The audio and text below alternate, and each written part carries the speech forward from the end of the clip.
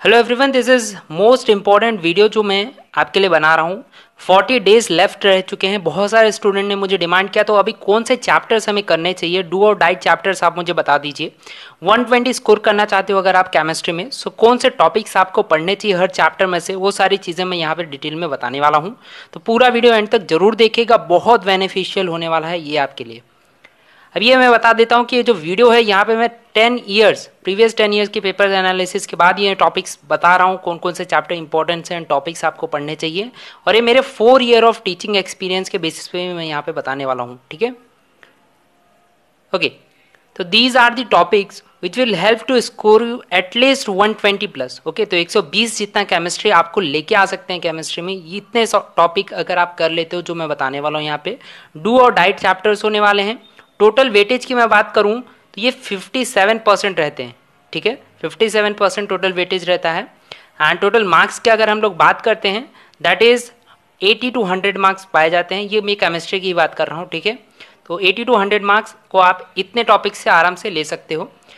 ये चैप्टर्स हैं, ठीक है? GOC chemical bonding coordination compound biomolecules aldehyde ketone carboxylic acid alcohol phenol and ether p block equilibrium thermodynamic and chemical kinetics okay तो यहाँ पे इतने सारे चैप्टर्स अगर आप कर लेते हो ये दस चैप्टर इंपॉर्टेंट जो चैप्टर्स हैं तो आपके 120 आने के चांसेस बहुत ज़्यादा हैं, ठीक है? पर स्टूडेंट्स कंफ्यूज क्या हैं? जीओसी बहुत बड़ा चैप्टर है तो उसमें से पढ़ना क्या चाहिए? बॉन्डिंग में से क्या पढ़ना चाहिए? तो वो चीज़ें मैं वीडियो में बताने वाला हूँ।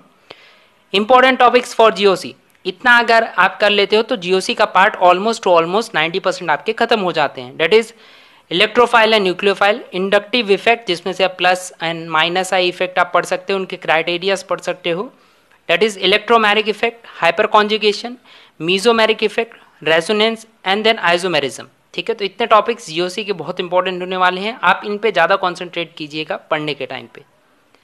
नेक्स्ट जो हम लोग बात करने वाले हैं that is chemical bonding okay next chapter is chemical bonding तो केमिकल बॉन्डिंग में से आपको क्या क्या चीज़ें पढ़नी चाहिए, वो चीज़ हम लोग यहाँ पे डिस्कस कर लेते हैं। First one is valence electrons होते क्या हैं? आयनिक बॉन्ड क्या होता है? कोवेलेंट बॉन्ड क्या होता है? हाइड्रोजन बॉन्ड क्या होता है? उनके क्राइटेरियाज क्या होते हैं? और कंपैरिजन थोड़े से पूछ लेते हैं एग्ज़ाम में तो वो थोड़ा सा आप कंपैरिजन पढ़ के रखिएगा। Next is bond parameters, Lewis structure आपको पता रहना चाहिए, कोवेलेंट बॉन्ड कैसे बनते हैं? रेजोनेंस जोमेट्रिकल ये ये पॉइंट बहुत इंपॉर्टेंट है, ठीक है? जोमेट्रिकल से ज़्यादा करके जोमेट्री से, एम मिलते हैं आपको, ठीक है? तो ज़्यादा कॉन्सेंट्रेट इस पर कीजिएगा। Next is VSEPR theory and molecular orbital theory इसमें से बॉन्ड ऑर्डर पूछे जाते हैं पैरामैग्नेटिक डायमैग्नेटिक है मॉलिक्यूल की नहीं, वो भी पूछा जाता है। तो ज़्यादा करके इन सारे टॉपिक्स को अगर आप कर लेते हो तो केमिकल बॉन्डिंग वाला चैप्टर आपका खत्म हो जाता है। ठीक है तो यहाँ पे दो चैप्टर के बारे में बता चुका हूँ। नेक्स्ट इज़ कोऑर्डिनेशन कंपाउंड तो देख लेते हैं कोऑर्डिनेशन कंपाउंड में से आपको क्या क्या पढ़ना चाहिए। Next first is double salt and coordination compound ठीक है? तो डबल सॉल्ट होता क्या है? जस्ट थोड़ा सा बेसिस याद कर लीजिएगा। Next is Werner theory ligands होते क्या है? उनके क्लासिफिकेशन टाइप थोड़े से देख लीजिए। एग्ज़ाम्पल देख लीजिएगा। कोऑर्डिनेशन नंबर कैसे निकालते हैं? इफ़ेक्टिव कोऑर्डिनेशन नंबर होता क्या है? कैसे निकाला जाता है?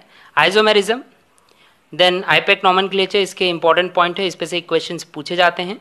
Bonding in complex then next is stability and the last one is application of coordination chemistry ठीक है? तो ये बेसिक आप इतने कंपाउंड अगर चीज़ कर लेते हो तो आपका ये चैप्टर समाप्त।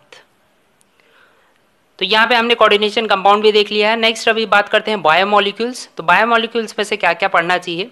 जैसे आपको पता होगा, हम यहाँ पे नीट की बात कर रहे हैं तो नीट जो है बायो स्टूडेंट्स ही देते हैं। तो ये जो चैप्टर है बायोमोलिक्यूल्स से बायोलॉजी में भी आपको मिलेगा। एंड ये केमिस्ट्री का भी पार्ट है। तो मतलब एक जगह पढ़ोगे तो दोनों का काम बन जाएगा, ठीक है? तो बायोमोलिक्यूल्स हर जगह आता है केमिस्ट्री और बायोलॉजी दोनों में मिलता है। फ़र्स्ट आपका क्राइटेरिया होना चाहिए कि गो थ्रू दी एनसीआरटीज आप एनसीआरटी कोई भी दोनों में से ट्राई कीजिएगा कि केमिस्ट्री और बायो में से दोनों में से एक एनसीआरटी उठाइए, अच्छे से उनको पढ़ लीजिए। एंड अगर आपको डिफ़िकल्टी होती है तो फिर आप कुछ वीडियोज़ एंड ऑल देख सकते हो चीज़ों को ट्राई कीजिएगा कि अच्छे से फोकस करके चैप्टर को ख़त्म कर दीजिए, क्योंकि दोनों जगह पे क्वेश्चंस मिलने वाले हैं इससे। ठीक है? तो यहाँ पे हमने बायोमोलिक्यूल्स देख लिया क्या क्या पढ़ना चाहिए आपको। Next is aldehyde ketone and carboxylic acid ठीक है? तो ये चैप्टर भी बहुत इंपॉर्टेंट है। इसमें से क्या पढ़ना चाहिए आपको? मैथड ऑफ़ प्रिपरेशन सारे हो जाने चाहिए आपके। रिएक्शंस क्या होते हैं? जनरलाइज रिएक्शंस क्या होते हैं? नाम याद कर लीजिए। एंड जस्ट कैसे फॉर्मेशन करते हैं? मैकेनिज्म याद करने की ज़्यादा ज़रूरत नहीं है उनसे। नेम रिएक्शंस मैं बहुत सारी ट्रिक्स इस पर बना चुका हूँ। नेम रिएक्शन आप डायरेक्टली देख सकते हो जाके मेरे चैनल पे। सिंपली आप तुरंत 10 मिनट में 15 मिनट में याद कर सकते हो सारे नेम रिएक्शंस एंड कन्वर्जन्स जो एग्ज़ाम में एनसीईआरटी e के बुक्स में दिया गया है जस्ट उनको प्रैक्टिस कर लीजिए पीछे के। बस इतने इनफ रहेंगे फॉर दिस चैप्टर नेक्स्ट जो अभी हम बात करने वाले हैं that is alcohol phenol and ether तो ये चैप्टर में से क्या क्या पूछा जा सकता है आपको? बड़ा चैप्टर है, ठीक है? तो ये कन्वर्जन्स आपको आने चाहिए, जैसे कि ये कन्वर्जन्स यहाँ पे मैं बता रहा हूँ, ये कन्वर्जन्स आपको अच्छे से आ जाना चाहिए। नेक्स्ट जो नेमिंग रिएक्शंस है, जैसे कि ये इतने सारे नेमिंग रिएक्शंस हैं, ज़्यादा करके पूछे जाते हैं तो naming reaction Reimer Tiemann reaction Kolbe reaction ये सारे रिएक्शंस आपको आने चाहिए। नेक्स्ट जो मैं बात करता हूँ आइडेंटिफिकेशन टेस्ट इंपॉर्टेंट है, दो टेस्ट में से हर बार कुछ ना कुछ क्वेश्चन पूछे जाते हैं तो ये दो टेस्ट आपके खत्म हो जाने चाहिए। और फिर बुक्स पढ़िए ट्राई कीजिएगा कि एसिडिक कैरेक्टर्स फिनॉल की जानिए नाइट्रेशन फिनॉल का कब होता है एंड ऑल वेज ग्रुप कैसे अटैच होता है? तो ये कुछ क्वेश्चन हैं जो आपको पता रहने चाहिए। बेसिक है ये, ठीक है? तो अगर ये सब कंप्लीट कर लेते हो तो ये चैप्टर आपका खत्म हो जाता है। नेक्स्ट इज़ पी ब्लॉक बहुत इंपॉर्टेंट चैप्टर है। इसमें से कोई भी आप वीडियो देख लो, आपको नहीं बताया जाता है कि टॉपिक क्या क्या पढ़ना है। मैं यहाँ पे बताने वाला हूँ तो पूरा वीडियो एंड तक ज़रूर देखिएगा। और सब्सक्राइब कर लीजिए चैनल को, क्योंकि यहाँ पे डेली ट्रिक्स में लेके आता रहता हूँ आपके लिए। मैं बात करता हूँ पी ब्लॉक के लिए, ठीक है? तो फ़िज़िकल प्रॉपर्टीज़ आपको पता रहनी चाहिए पी ब्लॉक की सारी फ़िज़िकल प्रॉपर्टीज़ जैसी कि यहाँ पे एटॉमिक रेडियस में बताया हूँ electronegativity boiling point and all सारी फ़िज़िकल प्रॉपर्टीज़ आपको पता रहनी चाहिए। केमिकल प्रॉपर्टीज़ में से थोड़े से यहाँ पे जो मेंशन किया हुआ है, वो आपको पता रहना चाहिए।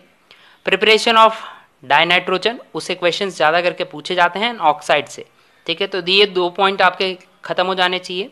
अमोनिया में से क्वेश्चन पूछे जाते हैं डेट इज़ पी ब्लॉक की हम बात कर रहे हैं, ठीक है? याद रखिएगा ये। ऑसवर्ल्ड प्रोसेस होता क्या है? उससे कुछ प्रोसेस में से क्वेश्चन मिलते हैं। रिएक्शन ऑफ़ एन ये थोड़ा सा पता होगा आपको टेस्ट में से पूछा जाता है। ये टेस्ट आपको दिया गया एनसीईआरटी में से, एक बार ढूंढ के ज़रूर कंप्लीट आउट कर लीजिएगा। Next difference between white and red phosphorus question इससे पूछा जाता है कि इतने टेम्परेचर पे कन्वर्ट करेंगे तो ये रेड से व्हाइट बन जाएगा एंड ऑल तो टेम्परेचर क्राइटेरियाज आपको अच्छे से दिमाग में होना चाहिए। प्रिपरेशन ऑफ़ फॉस्फिन फॉस्फिन आपको पता होगा पॉइजन है, उससे रिलेटेड क्वेश्चन पूछे जाते हैं।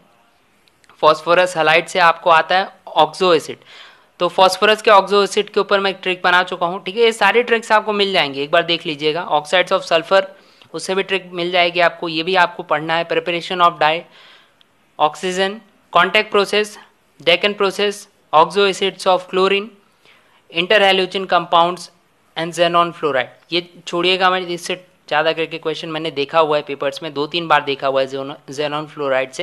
इसके हाइब्रिडाइजेशन से ऊपर पूछा जाता है थोड़ा सा नेमिंग पूछ लिया जाता है तो ये थोड़ा पढ़ के रखिएगा। तो यहाँ पे हमने बात कर लिया है पी ब्लॉक के बारे में भी क्या क्या पढ़ना है। तो यहाँ पे इतने सारे चैप्टर्स मैं बता चुका हूँ अब हम देखने वाले हैं इक्विलिब्रियम एंड थर्मोडाइनमिक ठीक है? दोनों बहुत इंपॉर्टेंट है फ़िज़िकल केमिस्ट्री के पॉइंट ऑफ़ व्यू तो अगर मैं बात करता हूँ हर बार तुम तीन क्वेश्चन एक्सपेक्ट कर सकते हो from equilibrium and two question from thermodynamics ठीक है? तो ये बेसिक है। ये एवरेज मैं बता रहा हूँ। अब इक्विलिब्रियम में से क्या क्या पढ़ना चाहिए आपको और कैसे पढ़ना चाहिए? फ़र्स्ट तो आप एनसीईआरटी बेसिक पूरा एनसीईआरटी एक बार ज़रूर देख लीजिए। क्या क्या है, ठीक है? देन उसके बाद इंपॉर्टेंट फॉर्मूलाज उनके याद कर लीजिए, क्योंकि आप फ़िज़िकल केमिस्ट्री पढ़ रहे हो तो फॉर्मूलाज आपके दिमाग में होने चाहिए। आप मेरे चैनल पर ट्रिक भी देख सकते हो कि फॉर्मूलाज को कैसे जल्दी से जल्दी यूज़ करना होता है। पेपर्स उठा के देख लीजिए एक बार। एंड अगर आपके पास कुछ हैंड रिटन नोट्स है कोचिंग के तो वो बुकलेट डायरेक्टली पढ़ने की ट्राई कीजिए। ठीक है तो मैं यहाँ पे इन शॉर्ट बोलना चाहूँगा। पूरा चैप्टर पढ़ लीजिए। आई मीन फॉर्मूलाज को आप याद करने की ट्राई कीजिए। नेक्स्ट अगर हम लोग बात करते हैं फॉर थर्मोडाइनमिक थर्मोडाइनमिक आपको क्या क्या पढ़ना चाहिए? The first one is state function ठीक है? स्टेट फ़ंक्शन से एक क्वेश्चन हमेशा एक्सपेक्टेड रहता है, वो थोड़ा कर लीजिएगा। Then he is law thermodynamics processes ये कुछ हैं। एंथैल्पी एंट्रोपी गिफ्ट फ्री एनर्जी इसमें से एक क्वेश्चन हर बार पाया जाता है। तो ये थोड़ा सा पढ़ लीजिएगा। An application of chemical equilibrium ठीक है? आयोनिक से भी क्वेश्चंस पूछे जाते हैं। आयोनिक का भी मैंने बताओ दिया है के से क्वेश्चन आता है। ट्रिक हमारे चैनल पे मिल जाएगी, वो एक बार आप देख सकते हो ज़रूर। एंड केमिकल एप्लीकेशन पढ़ के जाइएगा। बफर के ऊपर मैं ट्रिक बना चुका हूँ बफर सॉल्यूशन से भी आते हैं। इस ली चटेरियल प्रिंसिपल इससे पूछा जाता है पीएच स्केल कैसे आपको यूज़ करना है, इससे रिलेटेड भी मैं ट्रिक बना चुका हूँ। तो इन शॉर्ट मैं बोलना ये चाहता हूँ कि आपको सारे ट्रिक्स मिल जाएँगे। एक बार चैनल पर ज़रूर विज़िट कर लीजिएगा। तो यहाँ पे मैंने बात कर लिया इक्विलिब्रियम एंड थर्मोडाइनमिक की। लास्ट जो हम लोग देखने वाले हैं, इस पूरे दस चैप्टर जो आपको कंप्लीट करना है चालीस दिन में दैट इज़ केमिकल काइनेटिक्स ठीक है? तो केमिकल काइनेटिक्स के क्या क्या क्वेश्चन आपको आने चाहिए? इंपॉर्टेंट टॉपिक्स क्या क्या आपको पता रहनी चाहिए। The first one is rate of reaction factor affecting rate of reaction पता रहना चाहिए। ऑर्डर एंड मॉलिकुलरिटी कैसे निकालते हैं, ठीक है, वो पता रहने चाहिए, उससे क्वेश्चन मिल जाते हैं। Rate law specific integral law और हाफ़ लाइफ तो ये first order second order and zero order तीनों का निकाल के रख लीजिएगा। एंथ ऑर्डर के लिए भी बुक में दिया गया है तो वो भी आप एक बार फॉर्मूला ज़रूर देख लीजिएगा। कॉलिजन थियरी से क्वेश्चन पूछे जा सकते हैं। The last one is Arrhenius equation इससे से एक क्वेश्चन आप एक्सपेक्ट हर बार कर सकते हो। तो these were the ten chapters जिन पे आपको ज़्यादा करके फोकस करना है। ओके? ये ज़्यादा करके 40 दिन में पहले इनको कंप्लीट कीजिए। अगर आप ये कंप्लीट कर लेते हो तो समझिएगा 90 से 100 मार्क्स आपके पक्का मिल जाएँगे। ठीक है? समझ गए आप? नेक्स्ट अगर मैं बात करता हूँ, अगर आपके पास टाइम बच रहा है, आप जल्दी से जल्दी 40 क्या 30 दिन में वो खत्म कर देते हो 10 दिन आपके बच्चा हुआ है तो आपको क्या करना चाहिए? तो ये कुछ चैप्टर्स हैं जो 30 परसेंट यहाँ पे हैं। जिसमें से 40 से आपको 55 मार्क्स मिल जाएगा 40 टू 55 मार्क्स ये है उनके नाम, ठीक है? जो मैंने वहाँ पे मेंशन नहीं किए थे, इनमें से ज़्यादा करके क्वेश्चंस मिलते नहीं और बहुत मिलेंगे तो एक क्वेश्चन मिलता है, ठीक है? इसलिए मैंने इनको मेंशन नहीं किया है, पर ट्राई कीजिएगा, पहले उनको ख़त्म कीजिए देन उनके बाद इन पर आप आइएगा और बेसिक बेसिक इनके थोड़ा सा एक एक बार ओवरव्यू ज़रूर ले लीजिएगा। 58 ट्रिक यहाँ मैं 60 ट्रिक्स अवेलेबल करा चुका हूँ, ठीक है? 60 अब ट्रिक्स मेरे चैनल पे अवेलेबल हैं। 100 परसेंट मैं गारंटी ले सकता हूँ कि वो 90 प्लस मार्क्स आपको दिला सकते हैं। तो यहाँ पे क्लिक करके आप डायरेक्टली जा सकते हो वहाँ पे। प्लेलिस्ट पूरा चेक कर लीजिए हंड्रेड डे चैलेंज वाला। बहुत सारे ट्रिक्स आपको वहाँ पर मिल जाएँगे।